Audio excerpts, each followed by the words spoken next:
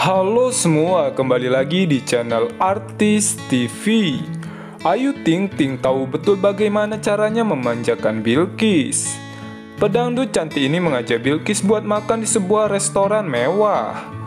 Momen tersebut dibagikan Ayu Ting Ting di story Instagram pribadinya.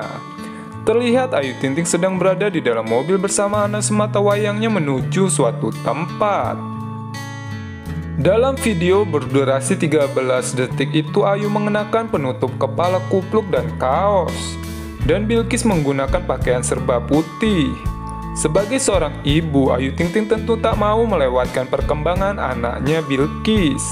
Ia pun selalu menyempatkan diri untuk quality time bersama di sela-sela agendanya yang padat. Ayu Ting Ting pun menyebut Bilkis semakin ABG.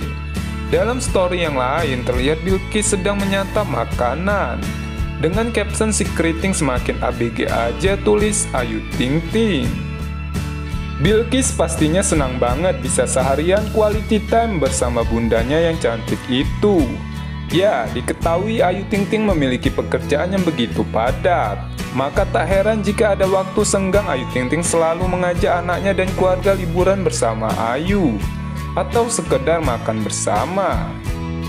Ya, sebelumnya Ayu Ting Ting tadi malam mengisi sebuah acara di televisi sebagai juri.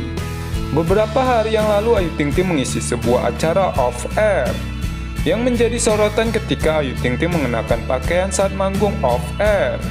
Ya, Ayu Ting Ting pernah berkomentar apa pun yang dilakukan dirinya di mata netizen semuanya salah.